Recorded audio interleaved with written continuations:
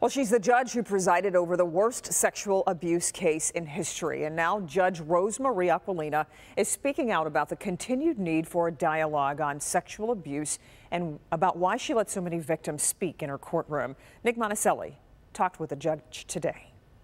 I don't have a dog in this fight, sir. As soon as Nassar pled guilty, Judge Rosemarie Aquilina was stern with the man who admitted to sexually abusing hundreds of women and little girls. But the story also highlighted the need for change when it comes to talking about and handling sexual abuse.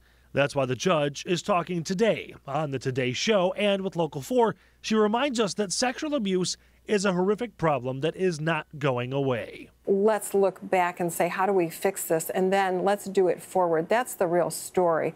Judge Aquilina and survivors of Nassar were named one of Glamour magazine's Women of the Year. A huge honor, yes, but she's happier to be talking about abuse when before very few would.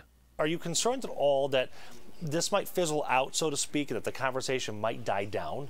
I am hoping that with awareness, it becomes part of our conversation. His lack of remorse meant something to you. Do you think that meant something more to the survivors as well?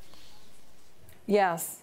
Uh, they, as they talked to me, they said, look at me, because he wasn't looking at it. He wasn't owning up, and that was part of my sentencing. One of the things that I've talked to many of the survivors about, and it's strange to say and strange to hear, but is, is the phrase good coming from Larry Nassar? Obviously, what he did was horrific, but do you think there is good that can come from this case?